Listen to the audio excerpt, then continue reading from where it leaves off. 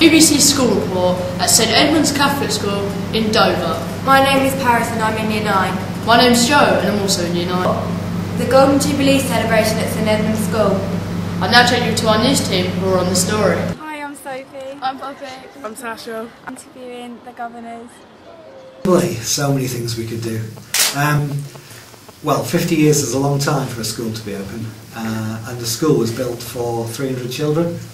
Um, it started in May, so I think the first thing we should do is celebrate with our staff in May, and also with previous staff and previous uh, students. So we're going to, first of all, we're going to have an open morning uh, on a Saturday. Uh, that's the 12th of May. We're going to invite past uh, students, past staff, if they want to come round, have a look at some of the archived uh, materials, pictures, old pictures, videos, etc. Um, then they can come and do so. They can have a tour of the school, see how it's changed. Um, and so that's the 12th of May. Well, I guess one of the first things is, is of course, it's a Catholic school. That's one of the main characteristics. Everybody says strangely they come into the school and visit. They say there's a very good atmosphere. And therefore, when you've got a school like St Edmund's, you have to actually shout from the highest hills and rooftops about what a good school it is. What their talents are, you have high expectations of them. And that then throughout their time in the school, you get each one of them to find out who they really are, where they want to go to, and what they want to achieve in life.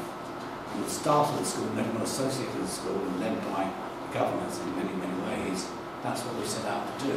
To the Golden Jubilee team. Uh, we have a special sports report now on the London Olympic 2012 Games. Jake, and uh, we're just about to film Mr. Warden, the head of PE, and uh, Mr. Cannon's assistant head teacher in the uh, press conference room, and student Sophie, uh, a trialist Olympic.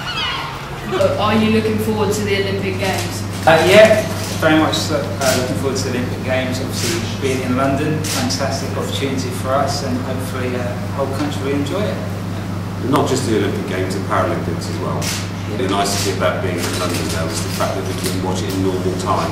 Yeah, yeah. Without being up to. Uh, what events are your favourite?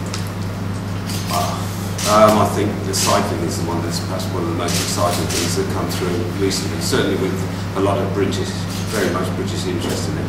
Yeah, I would look forward to the cycling in the velodrome. Uh, I think I look forward to swimming. Really? Of course I'm a swimmer, so you know. Um, yeah, similar to Josh. At the end, the rowing as well is probably one we look forward to. We've had success in it recently. But uh, I must admit, I'm looking forward to seeing Usain Bolt. Obviously, see if he can get the 100 and 200 gold medals as well. School report in 2012. I hope you enjoyed it and you tune in with us next year. My name is Paris My name is Joe. and we are signing out.